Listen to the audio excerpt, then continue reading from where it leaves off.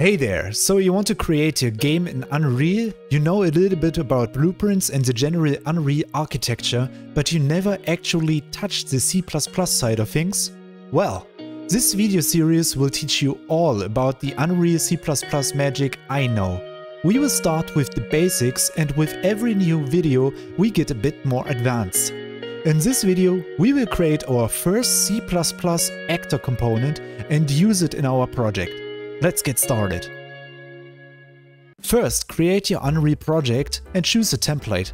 I will choose the third person template and also make sure to click on the C++ button. Give it a name and then click on create. So when you first created your project, you will be greeted by the Unreal Engine. Uh, make sure that you have the C++ classes folder in here and when you open your project in Visual Studio Code, then you should have all the folders like the config folder and the content folder.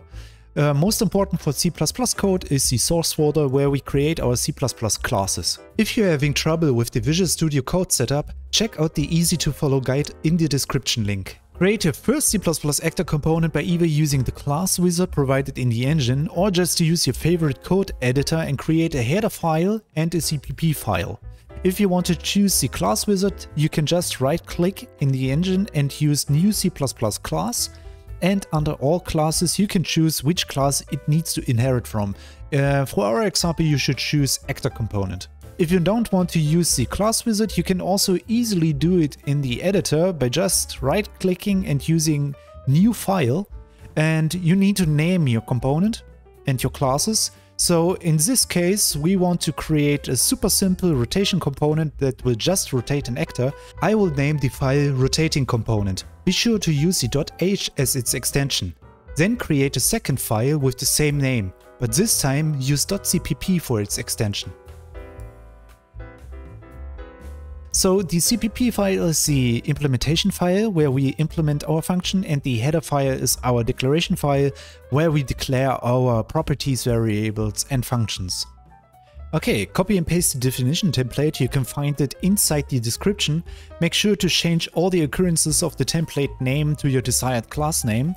Uh, here you find my actor component.generated.h. We just use rotating component in this case generated files in Unreal Engine or auto-generated files that automatically link your C++ code to the engine's features like blueprints and editor tools without you needing to edit them. You only need the game API macro if you want to use your class in a different C++ module. Since that is not needed yet, you can remove it. The class name will be uRotating component. Also rename the constructor to uRotating component.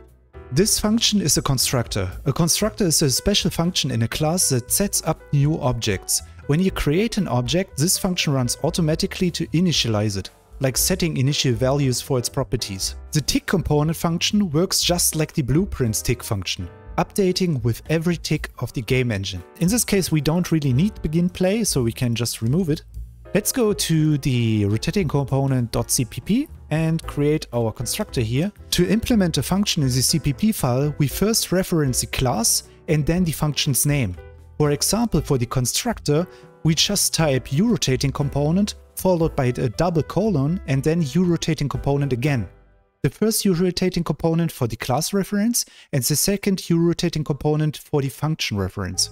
As you can see, we have some red squiggles here, and this is because of two things. So Visual Studio Code and C++ in general doesn't know what we are referencing until we include every header file that we want to work with. So let's include it. Just do hashtag include and then reference our rotating component.h. The red underline under include indicates that Visual Studio Code can't locate the header file, typically caused by configuration errors. To fix this, regenerate the Visual Studio Code project files and reload the project. You can easily do it by going to your um, project folder and then search for the Unreal Engine project file and go here under the options and generate Visual Studio project files. As we have done this, you can see that uh, the rotating component is now highlighted in green. This means that it works exactly, but the generated file is uh, underlined red. This is because we didn't recompile the project yet. This is a crucial rule. When you make changes to any C++ file, you must recompile the project to see the updates. This process requires closing the engine and then recompiling it. Also, only after recompiling the project, it will auto-generate the files with this .generated extension. Okay, as we have tick function, we want to be able to tell the uh, project that this tick function can be run. This is easily done under the primary component tick and under can ever tick, you can just set it to true. Okay, let's also create the tick component in the CPP file. We can just copy and paste the, um, the whole declaration here. We don't need the virtual and we don't need the override. Uh, we can just post it here. Remember to reference the class as well. If you only use the function name, C++ will treat it as a new function. So prefix the tick component function name with u rotating component followed by a double colon to correctly associate with, with the class. And maybe we can just go ahead and compile the changes now and see if the rotating component appears when we create an actor. So go under the Run and Debug tab and go under Launch Third Person Project Editor and either use Development or Debug Game I will just use development in this case. Click on launch and then it should launch your project. Okay, so we are here under the Unreal Engine and everything should be compiled, but how can we check this actually? Well, this should be very easy. We just need to go under our content and create a new blueprint class and just go and create an actor. In this case, we just call it test cube maybe because we will add a new cube um, go under add and use static mesh and click here and maybe search for a cube or any mesh that you like. Um, compile the changes and drag that cube in. So now we have a cube. Okay. With this cube, we will add our new rotating component.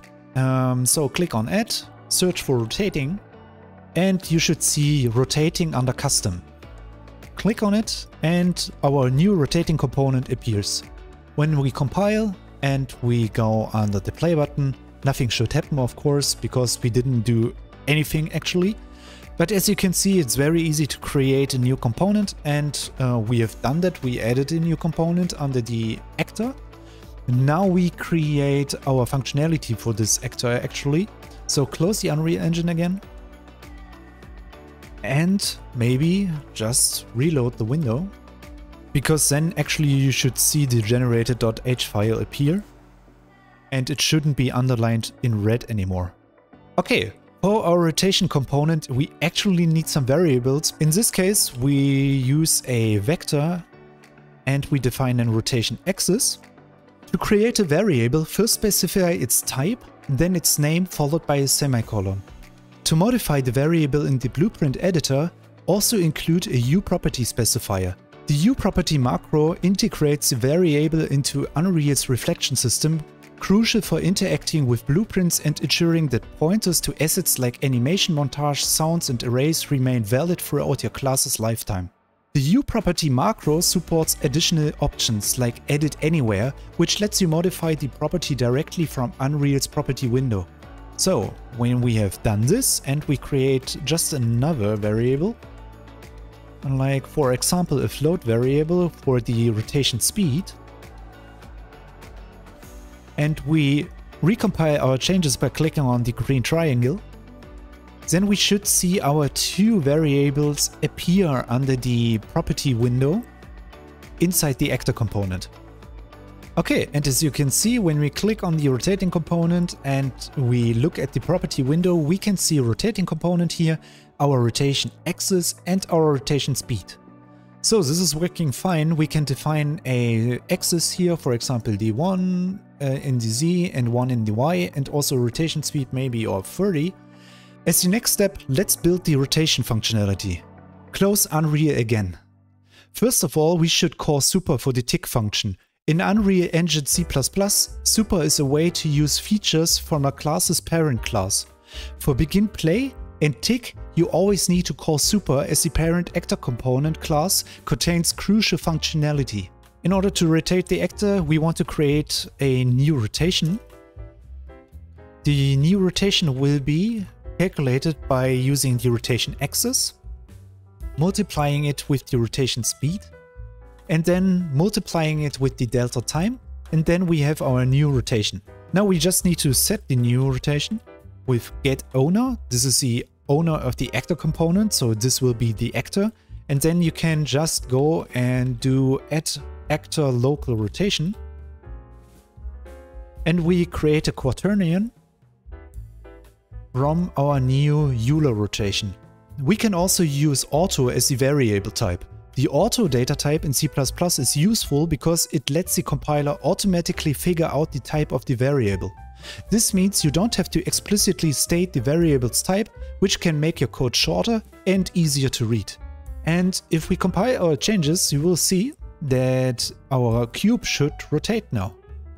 Okay, let's go and play. And as you can see, our cube is rotating now. Maybe we want to also create some default variables. We can do this under the constructor. So the constructor, like I mentioned, will be the place where you want to set your default values for your variables. We can maybe define the rotation axis um, in default as a vector where the x 0, the y 0 and maybe the 1, uh, the z is a 1. So it will rotate on the z-axis and maybe we just do a rotation speed, a default rotation speed of 20. It is better if we just go for 20.0f. Compile. Okay, so as you can see, our rotation speed is the same like we had before. And when we reset this property to its default value, then it's appearing as a z-axis of 1 and if we reset our rotation speed also, it will be changed to 20. So these default values are coming from the constructor. In the next video we will go through all the different kinds of property specifiers and also go into the details when and why you would need your property. Afterwards we will also go through U function decorators, the Unreal event system, how you can lazy load your assets and so on. Stay tuned and thank you so much for watching this video and see you next time.